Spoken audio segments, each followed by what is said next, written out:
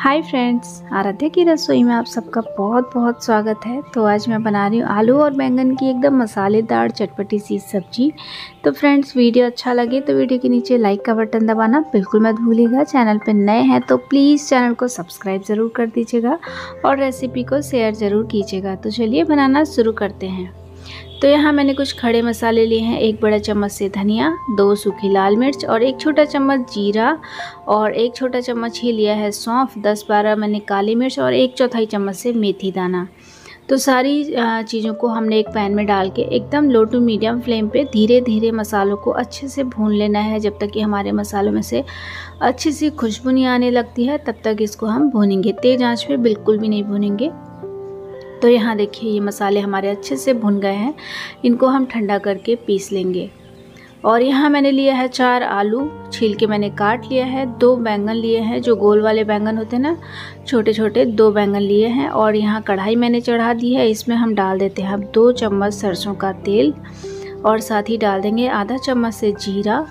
जीरा हल्का सा पक जाता है तो यहाँ डाल देते हैं एक छोटी चम्मच से लहसुन को क्रश करके मैंने लिया है। दो सूखी लाल मिर्च यहाँ पे मैंने इसमें डाल दी है। अब यहाँ पे हम डाल देंगे एक प्याज, मीडियम साइज़ का बारीक कटा हुआ।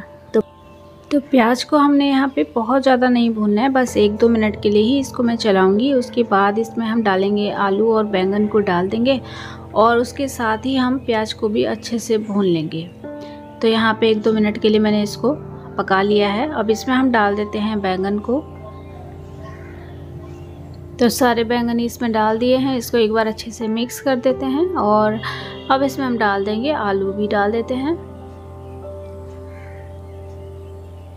तो सारी चीज़ों को मैंने इसमें डाल दिया है। आलू, बैंगन दोनों ही डाल दिए हैं। इसको अच्छे से हम मिक्स कर देंगे और ढक ढक के इसको हम तेज़ आँच पे ही भूनेंगे। बीच बीच में हम चलाते रहेंगे। तो ये देखिए, यहाँ पे चार पाँच मिनट के लिए इसको मैंने ढक के तेज़ आँच पे ही पकाया है। ये देखिए, काफ़ी इसका कलर भी चेंज हो गया है।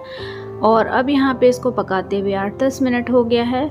और इसको मैंने तेज़ आँच पे ही पकाया है, लेकिन बीच बीच में चलाते हुए पकाया है। और नमक मैंने यहाँ पे थोड़ा सा डाल दिया था, ताकि आलू हमारे अच्छे से पक जाएँ। अब यहाँ मैंने दो टमाटर लिए हैं, और ये भी इसमें डाल दिए हैं। इसको भी हम अच्छे से इसमें मिला देंगे। और अब इसमें हम डाल देते हैं थोड़ा सा नमक। और साथ ही डाल देंगे आधा चम्मच से हल्दी पाउडर और आधा ही चम्मच डालेंगे लाल मिर्च। लाल मिर्च आप अपने टेस्ट के हिसाब से भी डाल सकते हैं। और ये मैंने डाल दिया जो भुना हुआ मसाला हमने पीस के रखा हुआ था, ये इसमें हमने डाल दिया है और अच्छे से इसको मिक्स कर देंगे। और मिक्स करने के बाद हम इसको ढक के पकाएँगे चार पाँच मिनट के लिए फिर से पकाएँगे, लेकिन इसको अब मीडियम टू लो फ्लेम पे पकाएँगे। तेज़ आँच पे बिल्कुल नहीं पकाएँगे, नहीं तो मसाले हमारे जल जाएँगे। और यहाँ पे देखिए चार पाँच मिनट के लिए मैंने इसको ढक के पका लिया है और हमारी आलू बैंगन की सब्ज़ी एकदम बन के तैयार हो गई है। देखिए, देखने में ही कितनी अच्छी लग रही है और आप इसको जब बनाएँगे ना, तब आपको इसका टेस्ट भी बहुत पसंद आएगा। तो लीजिए, आलू बैंगन की सब्ज़ी तो हमारी तैयार है। अब गर्मा गर्म पराठों के साथ आप इसे सर्व कीजिए, आपको बहुत अच्छा लगेगा। टेस्ट बहुत ही सच में बहुत अच्छा आता है। और एक बार बना के ज़रूर ट्राई कीजिएगा। और वीडियो अच्छा लगा हो तो वीडियो के नीचे लाइक का बटन दबाना बिल्कुल मत भूलिएगा। चैनल पर नए हैं तो प्लीज़ चैनल को सब्सक्राइब ज़रूर कर दीजिएगा और रेसिपी को शेयर करना बिल्कुल मत भूलिएगा। तो चलिए फिर मिलते हैं किसी और रेसिपी के साथ। तब तक के लिए बाय